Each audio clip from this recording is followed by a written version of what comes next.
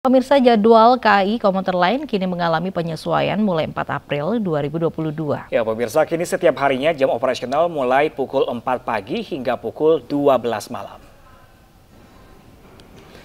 Ya pemirsa mulai 4 April 2022 KAI komuter lain Jabodetabek mengoperasikan 1053 perjalanan per hari dari sebelumnya 1007 perjalanan per hari dengan mengoperasikan 94 rangkaian KRL.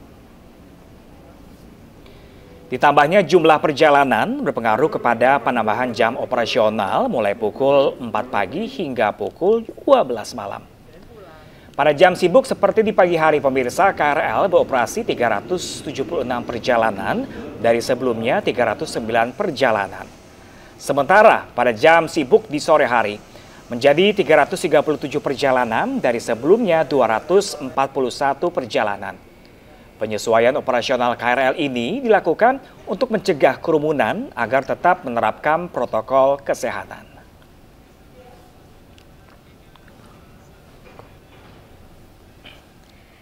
Dan untuk mengetahui jadwal operasional layanan KRL sudah bersama kami ada Bayu Pradana langsung dari stasiun Manggarai. Ya Bayu, apakah eh, bagaimana tanggapan masyarakat mengenai perpanjangan jadwal KRL ini?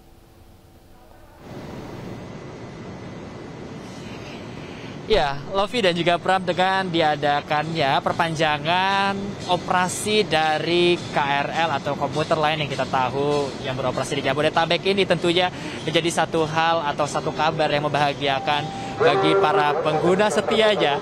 Dan tentunya para pengguna KRL ini terlihat sangat senang dilihat dari jumlah penumpukan yang semakin berkurang, terutama pada hari ini yang berbeda dari hari-hari sebelumnya. Namun sayang sekali Pram dan juga Lovi di peron kami berada saat ini sedang tidak ada penumpang dikarenakan baru saja kereta yang ada di belakang saya ini baru saja tiba dan mereka semua sudah naik ke dalam kereta. Dan kalau kita lihat, Anda bisa melihat sekilas uh, memang sudah tidak ramai di dalam kereta dan ini sudah terpantau sejak pagi tadi Pram dan juga Lovi di mana seharusnya jam setengah tujuh sampai jam delapan pagi adalah salah satu uh, jam yang menjadi puncak dari penumpukan penumpang KRL yang ada terutama di stasiun Manggarai ini sebagai stasiun transit dari berbagai uh, daerah atau uh, tujuan seperti itu. Pram dan Lovi dan tentunya memang memang tercatat adanya kenaikan penumpang belakangan ini di mana yang biasanya uh, hanya 500 ribu penumpang namun belakangan ini ini meningkat hingga mencapai 600 ribu penumpang. Maka dari itu PT KCI atau Kereta Komuter Indonesia ini menambahkan perjalanan menjadi 1053 perjalanan dari yang sebelumnya ini hanya 1005 perjalanan saja.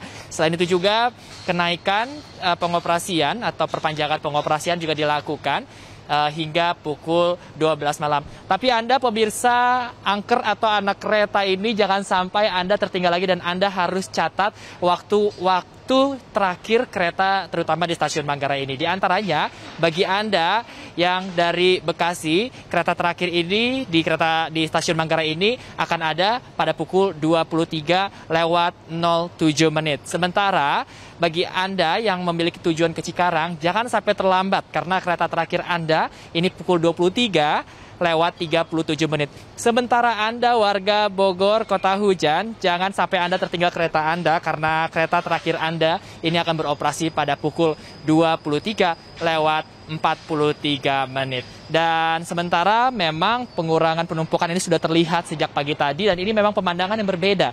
Dan memang diduga juga memang walaupun sudah banyaknya perusahaan atau perkantoran yang sudah menerapkan WFO atau work from office atau kembali bekerja di kantor uh, yang mengakibatkan penumpukan belakangan ini terjadi namun dengan adanya perpanjangan pengoperasian kereta ini ini menjadi harapan juga tentunya agar penumpukan tidak terjadi. Lovi dan Pram. Terima kasih banyak informasi Bayu Pradana langsung dari Stasiun Manggarai Jakarta. Terima kasih dan selamat bertugas kembali. Ya pemirsa, jadwal operasional layanan KRL sudah diperpanjang sampai dini hari yaitu pada pukul 24 waktu Indonesia Barat. Awalnya jadwal operasional KRL hanya sampai dengan pukul 22 waktu Indonesia Barat pemirsa. Dan untuk mengetahui hasil evaluasi perpanjangan waktu operasional, sudah bergabung bersama kami melalui sambungan telepon ada Ibu Ana Purba. Beliau adalah Vice President Corporate Sekretari KAI Komuter Line. Halo, selamat siang. Ibu Ana. Selamat siang. Selamat siang. Baik, uh, Ibu, apakah memang perpanjangan waktu hingga pukul 24 ini untuk semua rute, Ibu?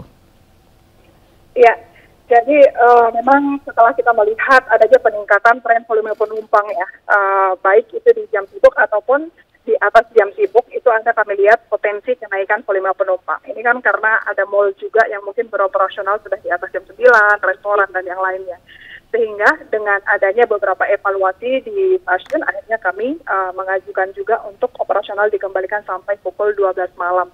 Dan ini memang di semua lintas ya. Hanya tadi uh, ini kan tidak mungkin serta merta jam 12 tank semuanya sudah berhenti operasional gitu ya. Jadi uh, seperti tadi yang sudah disampaikan oleh teman-teman uh, yang ada di Manggarai bahwa ada beberapa jam untuk tujuan stasiun-stasiun uh, akhir itu sudah kami update uh, untuk uh, jadwal dari KRL-nya. Nah, ini yang kami sampaikan kepada pengguna jasa komuter lain untuk mengetahui perubahan hmm. jadwal ataupun adanya penambahan. Ini sudah kami siapkan uh, aplikasi KRL Akses sehingga okay. secara real time mm-hmm. ini uh, pengguna jasa komuter lain bisa melihat kondisi perubahan jadwal ataupun kondisi kepadatan stasiun ataupun KRL pada jam tertentu. Oke, Bu Ana Purba, ini uh, perpanjangan waktu atau perjalanan kereta atau komuter lain ini apakah bertepatan karena datangnya bulan suci Ramadan atau nanti selepas Lebaran juga akan diteruskan? Uh, semuanya berkaitan dengan protokol kesehatan, mm -hmm. kemudian adanya pelonggaran juga, dan ini kan ada aturan uh, surat edaran juga ya, mm -hmm. di mana kapasitas KRL ini masih 60 persen, walaupun beberapa transportasi lainnya itu sudah ada 100 persen. Nah, untuk mengantisipasi mobilisasi yang uh, kita lihat trennya semakin naik, tentu kami harus siap supaya kami tetap bisa melakukan jaga jarak aman di setiap operasional KRL. Nah, ini yang kami lakukan terus-menerus. Nah, ini kan tadi seperti di jam-jam tertentu juga itu kan ditambah ya. Ada penambahan sekitar uh, uh, sekitar 60 sampai 100 perjalanan di jam sibuk.